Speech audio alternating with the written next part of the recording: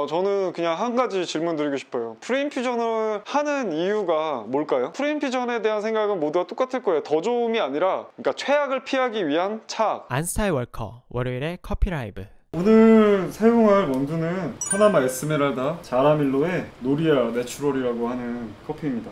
로켓 machine을 사용을 하는데요. 21g 담을 수 있는 바스켓을 준비를 해서 교체해 놨어요. 21.5g을 dosing해서 맞춰줄 건데요. 방금 말씀드렸다시피 21.5g까지 가게 된 거는 커피 파우더를 충분히 많이 넣어줘야 하더라고요. 그래서 첫 번째로 산미에 대한 소프트한 표현과 그리고 질감에 대한 부분 그리고 바탕을 가장 많이 봐요. 이렇게 그 산미와 플레이버를 좀 강조해야 되는 부분에 있어서는 산미가 좀 뭉쳐서 강하게 나거나 바탕이 어두웠을 때 얘가 가지고 있는 그런 플레이버를 온전히 느끼지를 못하기 때문에 저는 이제 바탕의 어둡기를 좀 많이 보는 편입니다. 자 그럼 한번 갈아볼게요. 사용할 그라인더는 이제 EK43S입니다. 네, 한번 내려보도록 하겠습니다.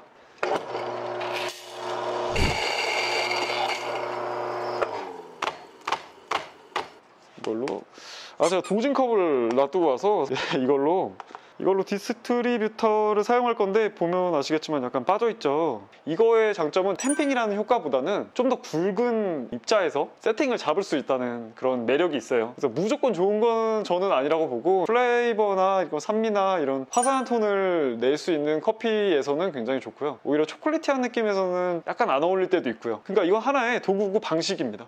특징을 알면 응용할 수 있다는 거죠. 네, 저는 이거는 좀 빼서 사용하도록 하겠습니다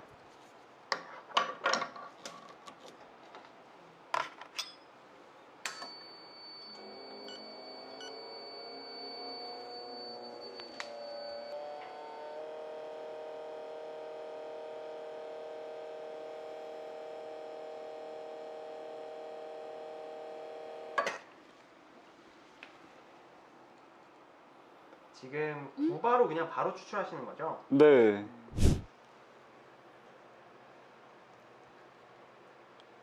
아 진짜 맛있다 포도 알맹이 같은 산미나 네. 그런 사과 같은 느낌? 그런 산미가 굉장히 좋은 커피여가지고 또 단맛도 충분히 있기 때문에 전혀 자극적으로 느껴지지 않고 방금은 45 정도 한 19초? 19초? 네 품위가 깔끔하게 떨어지기만 하면은 보통 19초에서 21초 사이에 세팅이 되더라고요. 이 파나마 같은 경우는. 게이샤 잘못 추출하면은 막 굉장히 찌르는 듯한 산미 이거 나고 되게 아 셔! 막 그러시잖아요. 근데 이거는 그런 맛이 아니에요. 과일 향이 먼저 싹 들어오고 그 다음에 달달한 텍스처가 뒷받침해줘서 부드럽게 잘 넘어갑니다 에스프레소 자체가.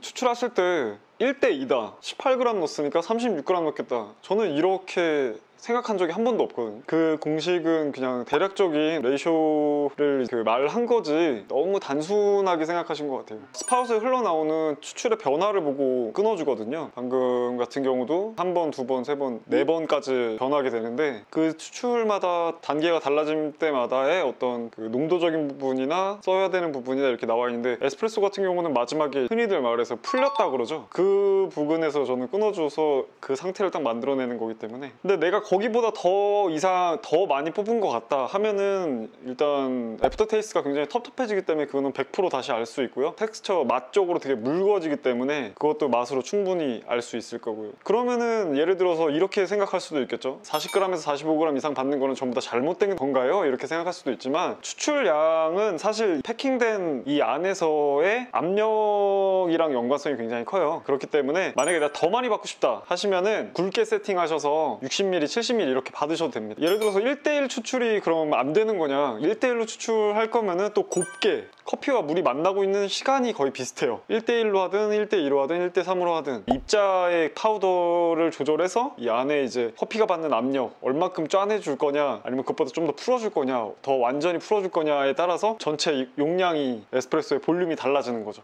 게이샤 같은 경우 추출이 보통 빠른 편이던데 이건 품종의 차이인가요? 게이샤 커피를 빠르게 추출한다. 물과 커피가 만나 있는 시간이 짧다가 방금 말씀드렸다시피 커피랑 물이랑 오래 만나고 있으면은 나오는 느낌이 있어요. 다른 추출을 해보셔도 알겠지만 첫 번째로는 저는 이제 산미 단맛의 경계가 무너지고 바탕이 짙어지고 왜 커피가 물이랑 더 많이 만나고 있으니까요. 커피는 물이 만나는 순간부터 계속 변하거든요. 그 사이에서 저희가 그 성분들을 이제 내려놓는 건데 어쨌든 길면 길수록 그게 더 어두워지니까 플레이버를 느낄 수 있는 것들은 절대로 온전하게 표현이 안 돼요. 왜냐하면 산미가 없어지기 때문에 산미가 선명하고 깔끔하게 드러나지 않기 때문에 그런 flavor적으로 가려지는 부분이 있죠. 그렇기 때문에 이런 향미나 산미 이런 것들을 중점적으로 드러내주는 애들은 저 같은 경우에는 추출 시간이 좀 빨랐던 것 같아요. pre-infusion 없이 바로 9바로 추출하신 이유. 어, 저는 그냥 한 가지 질문 드리고 싶어요. pre-infusion을 하는 이유가 뭘까요? 두 가지가 있다고 생각을 해요. 예를 들어서 첫 번째, degassing이 덜 됐다. 그러니까 aging을 못 맞춰놨다. 두 번째, pre-infusion을 적절히 해주면 향미적인 긍정성이 좋아진다. 저 둘 중에 어떤 이유 때문에 pre-infusion을 하시는다고 생각하시죠? 저도 pre-infusion 가압에 대해서 여러 가지 테스트를 많이 했는데 일단 이 커피 puck 안에서의 압력이 같이 진행되기 때문에 이 안에 infusing에 관한 거를 컨트롤할 수가 없어요.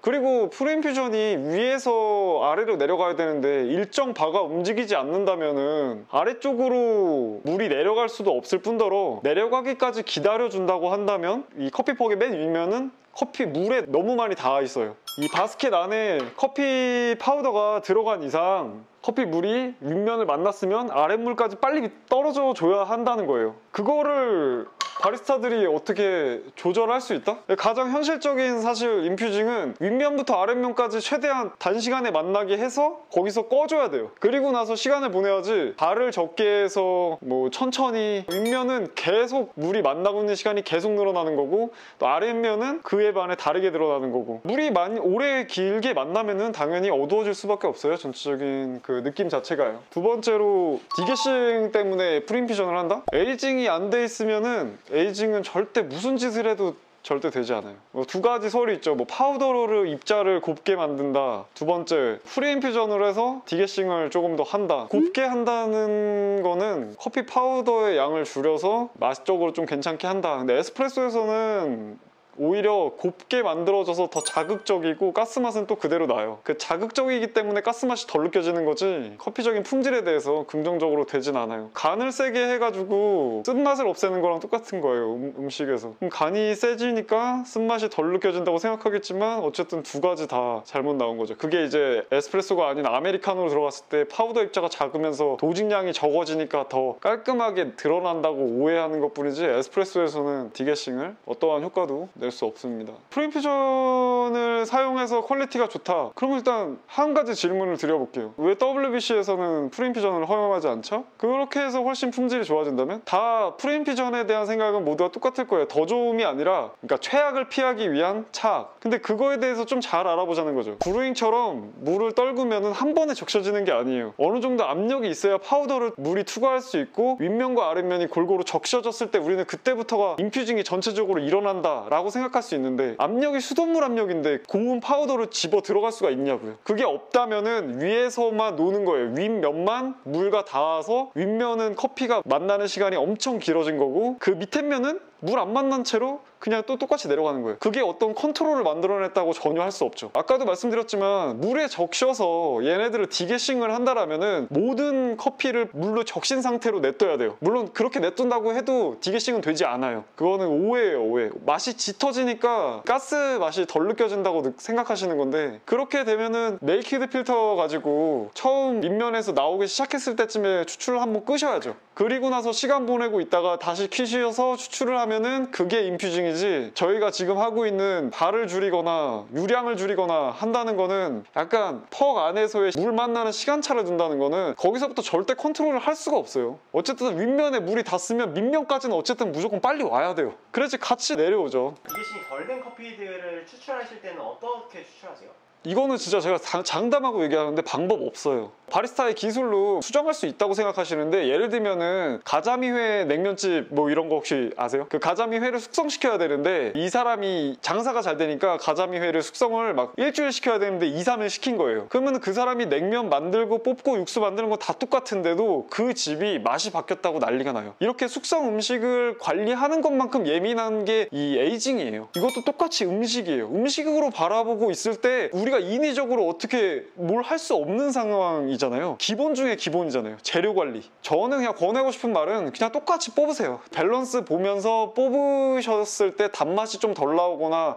가스에 의한 씁쓸한 맛이 나오더라도 그 상태가 제일 안정적이에요. 그거를 뭘 한다고 분쇄도 곱게 만들어가지고 파우더 양 적게 담고 이거 웬만한 스킬 없으면 오히려 헤매다가 끝나요. aging이 덜 된 건 절대로 보완할 수 없다. 두 번째, 아마 단맛이 되게 적게 나오겠지만 밸런스를 보고 맞춰주는 게 최상이다. 예를 들면 프린퓨전을 하지 않으면은 입자가 너무 고운 나머지 가스가 너무 많이 방출되는 나머지 그 안에 걸리는 압력이 굉장히 커서 수출이 안 될 때가 있잖아요. 그쵸, 그쵸. 근데 그때 프린퓨전을 네. 사용을 하면은 고운 입자에도 불구하고 네. 추출이 되잖아요. 그런 경우에 테크닉적인 요소로 프린퓨전을 사용할 수 있지 않을까요? 추출의 첫 번째 목적은 원두의 맛을 그대로 내는 거예요. 커피를 추출을 하실 때 이제 바리스타 분들이 제일 많이 오해하는 게 기준점을 못 잡아요. 왜? 로스팅을 안 해보셨으니까. 근데 우리는 로스터가 생두의 맛을 긍정적으로 이끌어내는 게 전부이듯이 바리스타도 원두라는 재료를 긍정적으로 그대로 내기만 해도 성공인 거예요. 그게 최선인 거예요. 그래서 roaster와 바리스타 간의 커뮤니케이션이 굉장히 중요한 거고 바리스타가 이 원두의 한계를 넘어간다? 이거 판타지예요. 도대체 왜 자꾸 이런 얘기가 나오냐? 바리스타들이 cupping을 안 하기 때문이에요. 바리스타가 추출은 안 해도 cupping은 할 줄 알아야 돼요. roaster가 roasting은 안 해도 cupping은 할 줄 알아야 돼요. 왜요? 거기가 기준이에요. 추출하기 전에 내가 가지고 있는 커피를 일단 cupping을 해보세요. 거기 안에서 다 정답이 있어요. 여기에서 나오는 좋은 점, 여기에서 나오는 나쁜 점, 내가 가지고 가야 다 이 한 컵에 다 들어있어요. 이거 그대로 추출로 내보내시기만 하시면 돼요. 근데 이 컵 안에서 부정적인 게 나온다. 그러면은 roaster한테 항의를 해야 돼요. 지금 cupping에서 defect가 나오는데 이게 추출해서 너무 거슬린다. 그랬을 때는 roaster한테 그거를 분명히 전달해서 서로 간의 커뮤니케이션이 계속 돌아야 돼요. 아 여기에 defect가 나오는데 내가 엄청 훌륭한 바리스타니까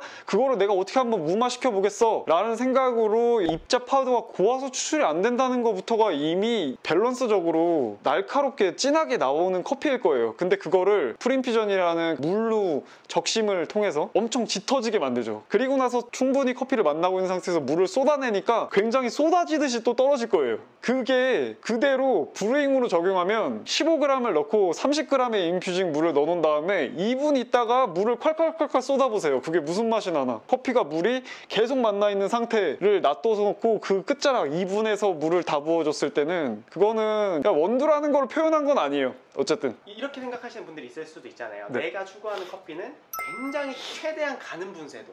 네. 그래서 최대한 커피 향을 적게 담고 네. 최대한 고수율을 내는 커피다. 예를 들면은 돈가스 집도 굉장히 많잖아요. 여기는 뭐 경양식이다, 여기는 일식이다. 내가 똑같은 레시피를 가르쳐줘도 개인의 해석에 따라서 좀 다를 수는 있잖아요. 그렇다 그래서 제가 그것까지 다 틀리다 맞다라고는 말을 못하지만 그 기본을 말씀드리는 거예요. 재료를 표현하는 게 제일 이상적이고 우리가 해야 되는 일이라. 어, 요리사라고 생각하시고 원두를 하나의 재료. 제가 또 로스터로 바라봤을 때는 생두를 하나의 재료로 봐요. 저는 개를 개 이상 만들 수 있다는 생각을 아예 하지 않아요. 그냥 걔가 가지고 있는 거를 그대한 최대한 결점 없이만 그대로 표현해 주자가 저의 목표예요. 바리스타 분들도 그런 관점에서 바라보신다면 기본인 중에 기본인 재료 관리, 내가 가진 커피에 최상의 맛을 내는 기간을 파악하고 그 기간 동안만 손님에게 제공하는 그런 기본적인 노력을 더 많이 하시지 skill적인 부분, 요령 같은 거를 더 하시려고 하시진 않으실 것 같아요. 기본이 더 중요해요. 요령보단. 얘가 뭐 9바 지금 아까 10바까지 들어간 건데 압력이 정확하게 잘 들어갔을 때는 입안에서의 이 맛의 전체적인 자극 없이 향미 표현이 깔끔하게 돼요. 근데 이 바가 넘어가거나 압력을 적정 이상 올려주면은 밸런스랑 상관없이 입안에 커피를 먹어봤을 때 자극이 바로 생겨요. 근데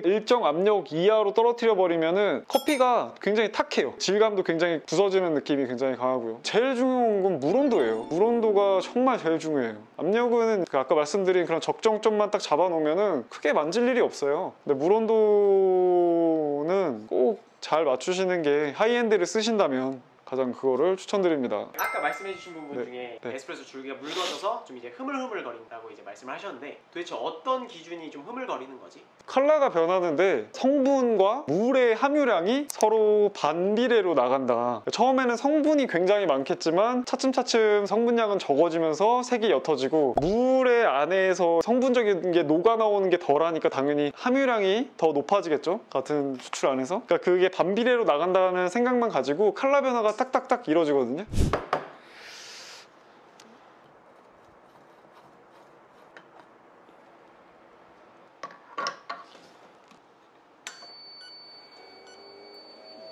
자 여기, 여기 보세요. 네 이제 브라운 나오죠? 여기서 한번 여기서 한번 옅어졌죠? 네 여기서 한번 더 옅어졌죠? 풀렸죠?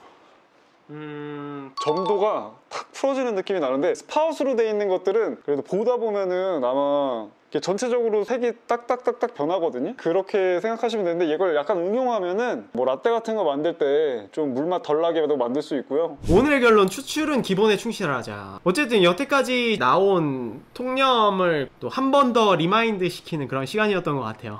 잘생긴 분이 말씀하시니까 다 맞는 말 같다고. 원래 커피는 최면입니다. 계속 이제 맞다 맞다.